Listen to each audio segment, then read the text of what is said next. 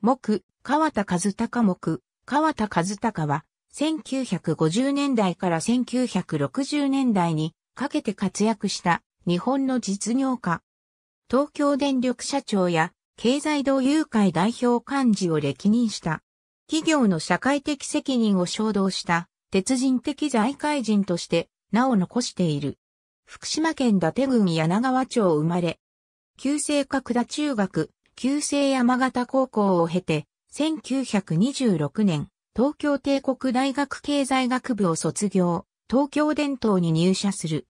東大時代は、河合英二郎の講義を最前列で聞き、河合の唱える理想主義的自由主義に傾倒した。社会に出てからは、電力の鬼、松永安左衛門に支持し、民間企業人としての闘魂を学ぶ。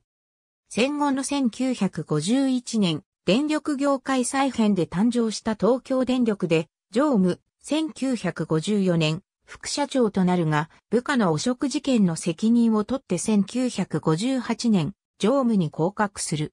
ほどなくして1959年、副社長に返り咲き、1961年、青木金一の後を継いで社長に就任した。1963年、経済同友会代表幹事に就任すると、初心で協調的競争を提唱し、人間尊重の理念をベースにしながら、産業界が自主的に適切な競争環境を整備すべきであると主張した。その具体的な動きとして、1966年から民間版の産業調整会議として活動を開始した産業問題研究会が挙げられる。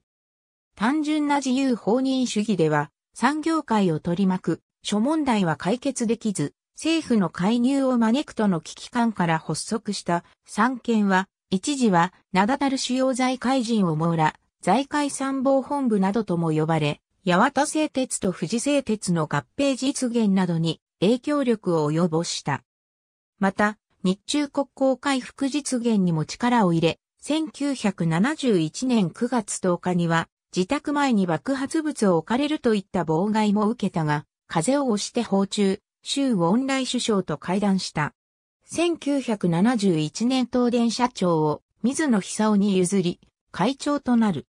1974年電気料金値上げに対する不払い運動に見舞われたが、参議院議員、市川夫妻の要請を受け、企業としての政治献金取り留めの英断を下した。現実の中で理想の実現にたゆまぬ努力を続けたき、川田の姿勢に、ある米国氏は、ビジネスステーツマンと称えた。1977年3月4日、死去。